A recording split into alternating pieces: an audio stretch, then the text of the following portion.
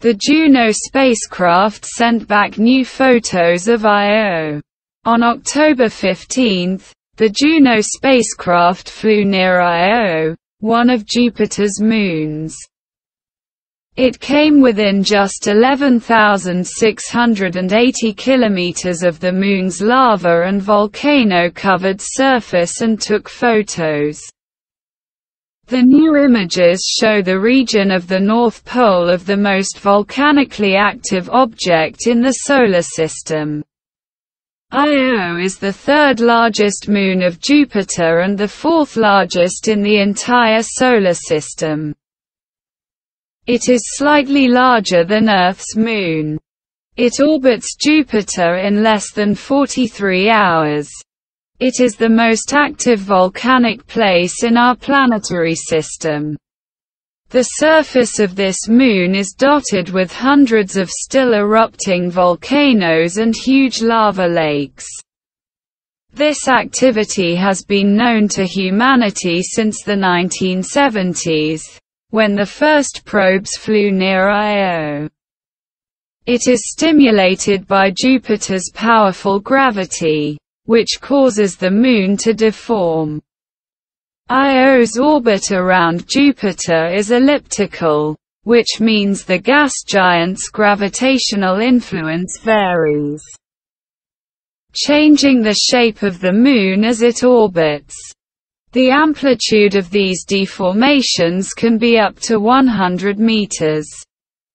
This causes friction inside the object.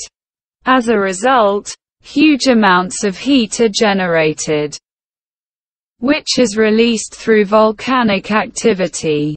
A few days ago, the Juno probe, flying just 11,680 kilometers from the surface of Io, took photos of this hell-like world.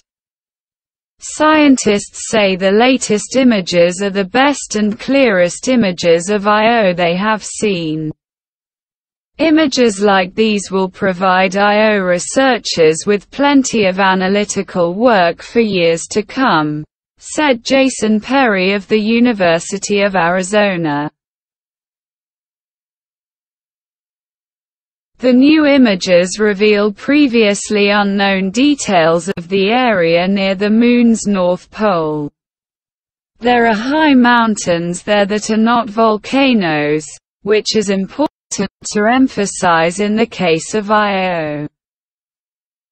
They reach a height of up to 6,000 meters. meters.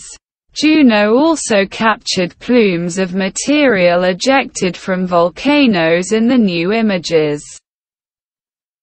The spacecraft will make further close passes over Io's surface in the coming months.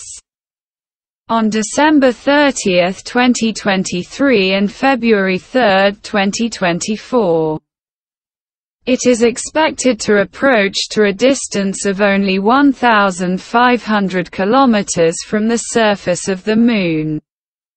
The Juno mission launched in August 2011. It reached Jupiter in July 2016.